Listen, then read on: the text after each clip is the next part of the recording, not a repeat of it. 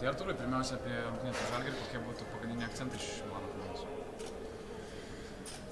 Žalgeris, kaip, kaip pasakyti, yra solidi komanda ir visi tą žinom ir, ir, ir pagrindinis dalykas, manau, atsakyti jų kontaktą, nes jie tikrai lūpsis ir, ir, ir mūsų vienas iš didžiausių uždavinių, tai atsakyti to pačiu, aišku, prieš jų spaudimą, kuris yra naudojamas įtin dažnai, reikia neklysti ir, ir, ir daug kitų aspektų, kurių čia nevardinsiu dabar.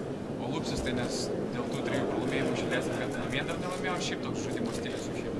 Mes žinom, kas juos treniruoja ir mes žinom, kokia tipo tai komanda ir kur jie buvo. Tai, tai, tai, tai todėl jie taip ir žaidžia. Ir, ir aišku, dasideda tas faktas, kad truputį fortūnos trūkumas net nešia tų laimėjimų, kurie galėjo turbūt būti. Užtat Milano komandai atnešė nemažai laimėjimų, ar ne? Kas skiriasi palyginant su praėjusiu sezonu?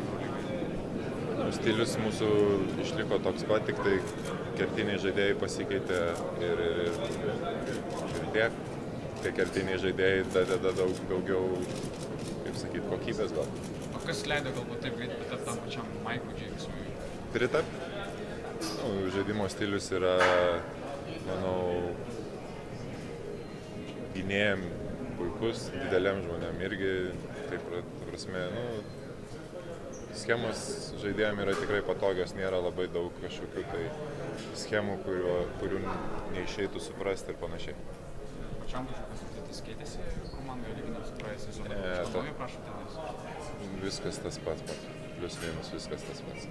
Ar kada nors prašys iš vidutinio nuotolio mes arba iš 3 taškų zonos, ar teko kalbėti apie šitą žaidimą?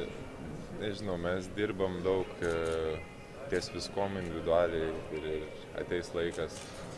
Nesinori kažko tai, sakykime taip, e, norisi dirbti komandos labui, ne, ne, ne savo ar kažkam. Ką savo pačiam pavyko pagerinti labai iškiai baudas ir atsižiūrint į tai, kad tenka labai dažnai mėgti tos baudų metimus, e, antras po švedą. Kas lėmė tokį pokytį? Ar čia atsisukumas ar vasaros darbai? E, sakau, tai yra to įdėto darbo kažkiek tai ir, ir bet su Mindaugu turim tokių visokių žaidimėlių iš pinigėlių, tai padeda.